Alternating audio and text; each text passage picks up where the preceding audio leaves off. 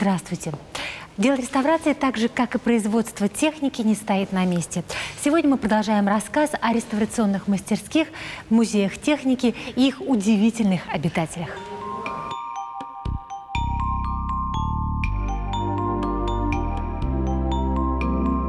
Музеи, как и люди, имеют лица и образы. Автомобильные музеи и реставрационные мастерские тем более. Иногда в привычном образе появляются новые черты, и перед нами уже другая личность.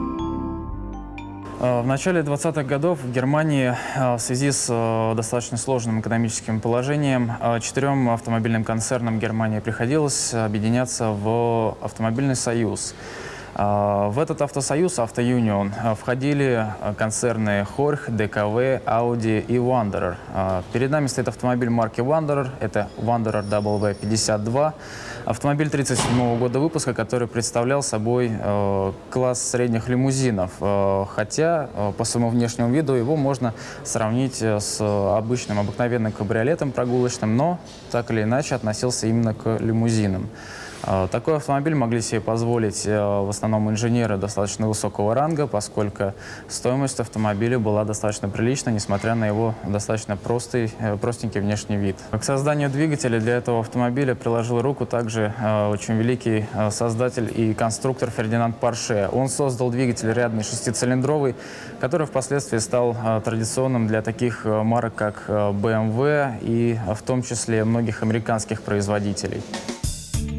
Музей Задорожного известен своей любовью к дорогим во всех смыслах немецким машинам. Вот это принадлежало одной из мощных фигур гитлеровской Германии. Собственно, и многие автомобили этой марки ассоциируются с фигурами Третьего Рейха.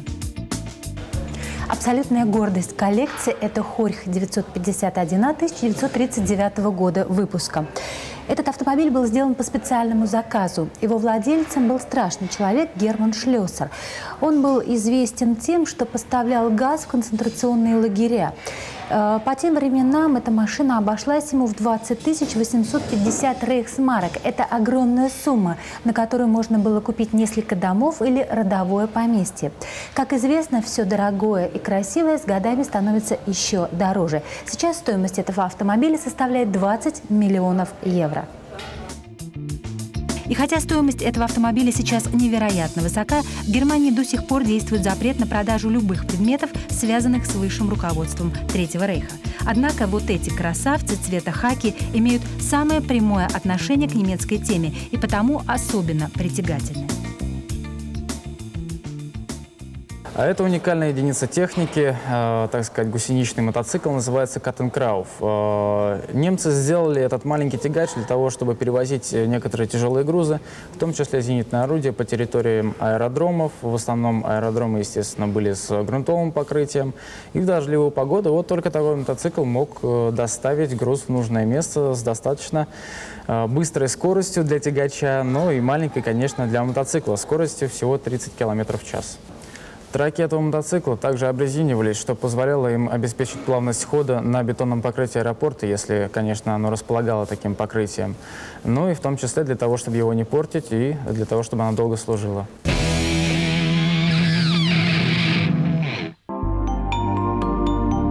Машины в стиле милитари, вышедшие из рук реставраторов мастерской Вячеслава Лена, отличаются экзотичностью даже в самом процессе поиска вожделенной раритетной железяки этот Моррис я купил э, с пушкой, с гаубицей. Э, там, ну, 90 с лишним миллиметров, 98, что ли. В общем, у англичанина спрашиваю, она у вас демилитаризированная? Я говорю, мне в, ну, в Германию тащить, как бы, чтобы у меня проблем не было. Он, да-да, все демилитаризировано, все в порядке. Я, как обычно, на слово, в общем, загоняю ее в фуру и все, в Берлин к себе домой повез их.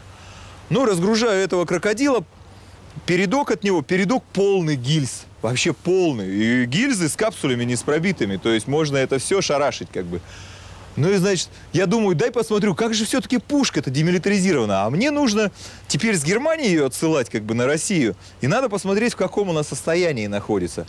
Думаю, как же демилитаризировали? Смотрю, а, в ней все нормально. Я ему перезваниваю. Я говорю, так и так.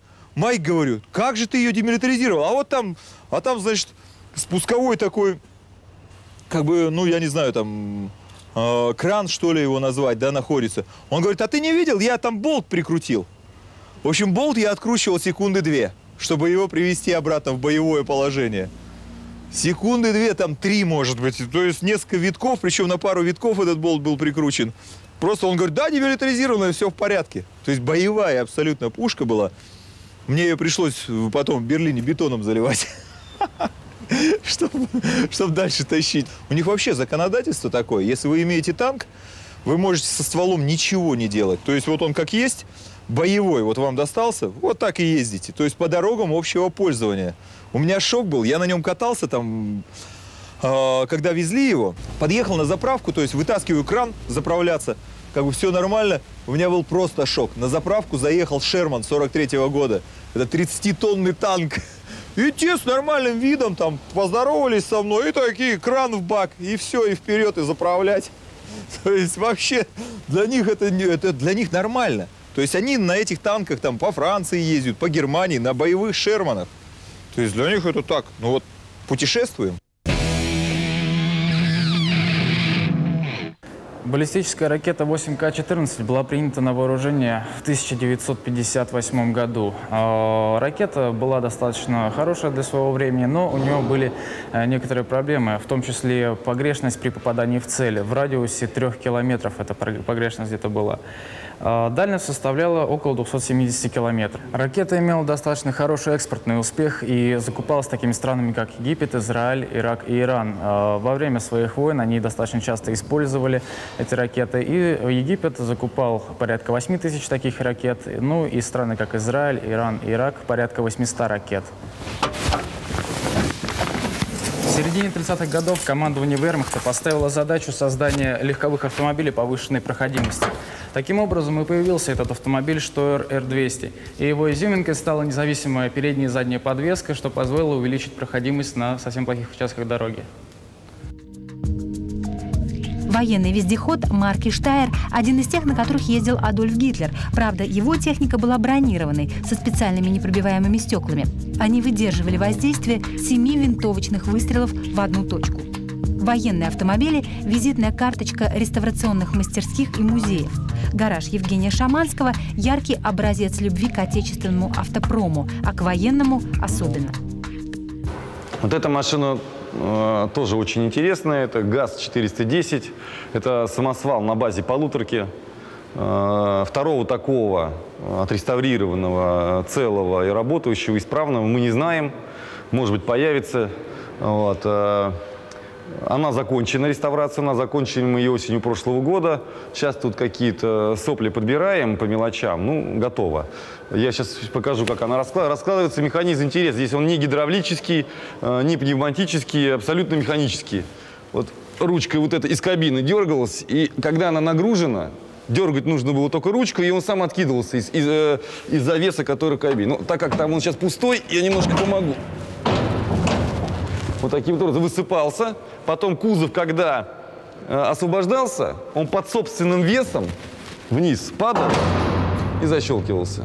Вот. А вот эта ручка – это открывать борт, чтобы высыпался груз. Вот. Что бы производители кинокартин делали без коллекционеров, обладателей и ценителей старинных авто? Один из таких сейчас находится на окраине Москвы, в ангаре, который носит название Ломаковский музей старинных автомобилей. Самый интересный экспонат у нас – это вся коллекция, потому что вся коллекция в современной России э, – это явление на самом деле. В то время, когда все любители старинных автомобилей, мотоциклов мечтали продать и продавали реально машины э, в другие страны, Ломакова только увеличили свою коллекцию в несколько раз. То есть примерно с 1987 года, когда я начал создавать Ломаковский музей, и до сегодняшнего года, э, вот за 20 лет, коллекция увеличилась примерно, наверное, раза в 3-4. То есть сейчас на сегодняшний день около 150 автомобилей мотоциклов с 40, которые были в 1987 году. То есть и э, совокупность сама вот этих автомобилей, она как бы интересна тем, что вот в ней представлены э, интереснейшие образцы или машины, которые связаны с какими-то историческими событиями и личностями. Ну, в частности, Хорьх 853 – это автомобиль года Парижского салона 1935 года. Это предсерийный хорьх, всего их было выпущено по разным подсчетам от 800 э, до 1200 штук. Э, выпускали их с 36 по 38 год, а если здесь вы обратите внимание, у него на табличке написано, что это 35 год. Казалось бы, такого не может быть, но мы вспоминаем, что существуют предсерийные работы конструкторов. И вот в 1935 году было изготовлено всего три хорьха. 853 модели вот этой самой. А у этого стоит 07 1935, то есть это июль 1935 года. А, в августе-сентябре состоялся Парижский автомобильный салон. Видимо, машина специально для этого салона была и изготовлена, где, как известно, Хорих 853 в Париже в 1935 году занял первое место Гран-при а, Парижского автомобильного салона мирового. То есть лучший автомобиль 1935 года – это Хорих 853 модели, который перед вами стоит. Это до сих пор считается один из самых красивых, один из самых элегантных автомобилей во всем мире, то есть за всю историю автомобилестроения вообще. А по легенде этой машины впоследствии пользовался Герман Геринг. У нас есть техпаспорт, а, в котором черным по белому написано, что владелец этого автомобиля Николай Иванович Самохин перед нами был. А это дважды Герой Советского Союза, а, командующий авиацией, кажется, второго Прибалтийского фронта. Вот лично Константин Рокоссовский этот автомобиль ему подарил вместе со второй звездой Героя Советского Союза, и он его уже привез в Советский Союз. А, и эта машина, значит, уже от него досталась моему отцу, Александру Алексеевичу Ломакову, в 1963 году. А Рокоссовский этот автомобиль забрал у Константина Гусаковского. Это первый танкист, который ворвался на танке в Берлин. По воспоминаниям а, вдовы Гусаковского, а он ей рассказывал неоднократно и своим друзьям, тоже они приходили сюда, рассказывали, что он им рассказывал, что этот автомобиль он захватил именно около особняка Геринга. Там был особняк полностью разрушен, а гаражи в парке остались целые. Вот там было несколько гросс-мерседесов и вот такой вот автомобиль Хорих 853. Ломаковскому музею в этом году исполняется 20 лет. За это время семья подвижников автодела что только не претерпела. В 1983 году автособиратели обвинили в том, что они коллекционируют фашистские автомобили. И наши гаражи э, были снесены в 1983 году с официальной формулировкой э, райкома партии за собирательство фашистских автомобилей в трехдневный срок. Все это вот пустили под бульдозеры. Такие вот были люди. Ломаковы для Дмитрия не просто фамилия в ряду других фамилий, а нечто большее.